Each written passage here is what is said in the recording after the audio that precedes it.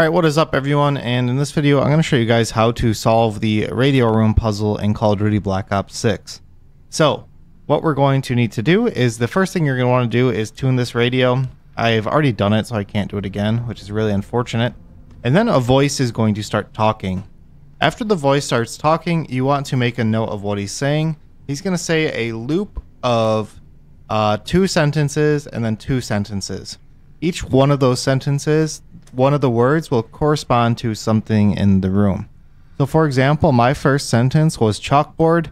So I just shined a light on the chalkboard and I made a note that my number was two. Then he's going to say his second sentence. For me, it was curtain. So I know that um, it's something to do with the curtain. And I saw this number zero on the curtain. And then um, he will keep saying numbers like that. He mentioned film for me. So I found film right here, number two, and then he mentioned guitar for me, which was number seven. So each one of the sentences will have a um, a number corresponding to it. But uh, by the way, the eye of the woman one is actually kind of tricky. You go where the eye of the woman is pointing, and you see that number eight there.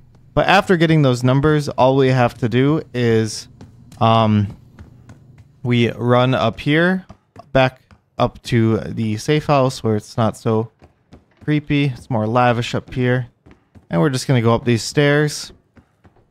And we are going to memorize the numbers we had written down. And then there's the, going to be a safe right here. And then you are going to put those numbers in order in those that safe.